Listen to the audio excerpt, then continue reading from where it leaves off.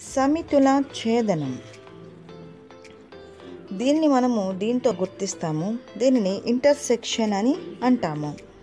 మరి దీనికి సంబంధించినటువంటి ఒక లెక్కను గమనిద్దాము. ఏ ఒకటి రెండు మూడు నాలుగు బి రెండు నాలుగు ఆరు ఎనిమిది ఆయన ఏ ఇంటర్సెక్షన్ బి ఏమవుతుంది? So A intersection B. ఏలోని మూలకాలు రాస్తున్నాము మరియు బీలోని మూలకాలు రాస్తున్నాం చూడండి. ఇంటర్సెక్షన్ అంటే రెండిట్లోనూ ఉమ్మడిగా ఉన్న మూలకాలను మనము ఏ ఇంటర్సెక్షన్ బీగా మనము చేస్తాము రాస్తాము. సో దీనికి సంబంధించి మనం వెంచిత్రం ద్వారా మరొక విధంగా చూద్దాము. సో ఏలోని మూలకాలు బీలోని మూలకాలు అన్నింటినీ కూడా మనం ఇక్కడ ఈ గీస్తున్నాం చూడండి. ఏలోని మూలకాలు బీలోని మూలకాలు. సో ఏ ఇంటర్సెక్షన్ బి అంటే ఏ బీలలో ఉన్నటువంటి ఉమ్మడి మూలకాలు. రెండు నాలుగు అనేది ఏ బీలలో ఉంది కాబట్టి మనము A intersection B is equal to రెండు కామ నాలుగు అవుతుంది.